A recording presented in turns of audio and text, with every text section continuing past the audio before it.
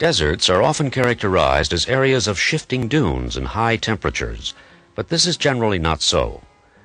All the deserts of the world have only one common characteristic aridity. Aridity is defined as the lack of water for living organisms, plants, animals, and man. Aridity can produce four kinds of deserts. First, the edaphic desert that is caused by soil with poor water retaining ability, such as sand and gravel. The edaphic desert can occur within any of the various biomes. Second, physical physiological deserts, found where water is frozen most of the time and not available to living organisms, as in the Arctic and high mountain altitudes.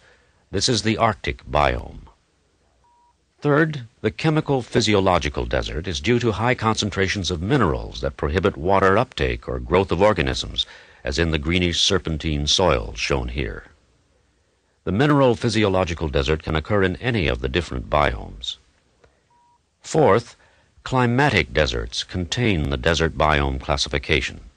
The desert biome occurs where the amount of precipitation as rain, snow, or fog is less than the evaporation rate each year. This is a climatic phenomenon. The desert biome covers large portions of the Earth's land and ocean surfaces. Yes, you heard correctly. Some ocean surfaces have the same conditions as deserts on land. This will be explained later.